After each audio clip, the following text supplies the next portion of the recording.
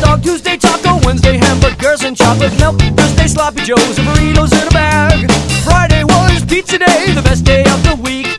All the kids would line up super early just to eat. Monday hot dog, Tuesday taco, Wednesday hamburgers and chocolate milk, Thursday sloppy joes and burritos in a bag. Friday was pizza day, the best day of the week.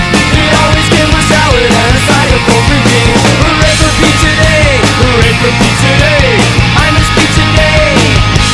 best day of the week. Shimmy, shimmy, rock it, pick it up, jack, jack, jack it. Uh huh. Slippy, slabby, slippy, slabby.